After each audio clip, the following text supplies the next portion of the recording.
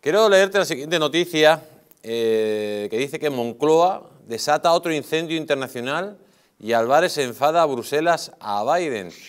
Eh, cuéntanos, cuéntanos cómo el Partido Socialista de nuevo rompe el boicot al, régimen chavista e invita a dos tipos que no tendrían que ser invitados a ser recibidos aquí en Europa. Cuéntanos.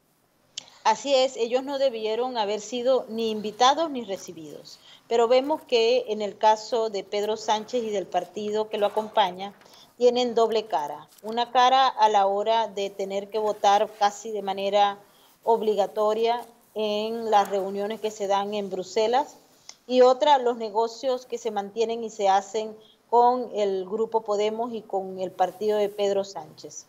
No solamente es eso la invitación, Hemos uh, conocido que también se han establecido previas relaciones para ir ampliando de alguna manera los mecanismos de lobby.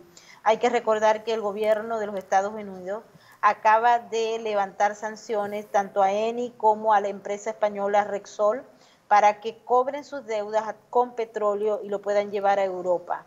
Esto es un mecanismo que ha facilitado de alguna manera las acciones que se están tomando eh, desde eh, Venezuela para lograr levantar las sanciones y que Nicolás Maduro pueda mantenerse en el poder. Lamentablemente, Pedro Sánchez y su gobierno es uno de los que está colaborando porque forma parte de ese esquema de aliados que todavía mantiene el régimen y que lo ha fortalecido también a través de sus relaciones con grandes potencias como Rusia, como China y con Irán.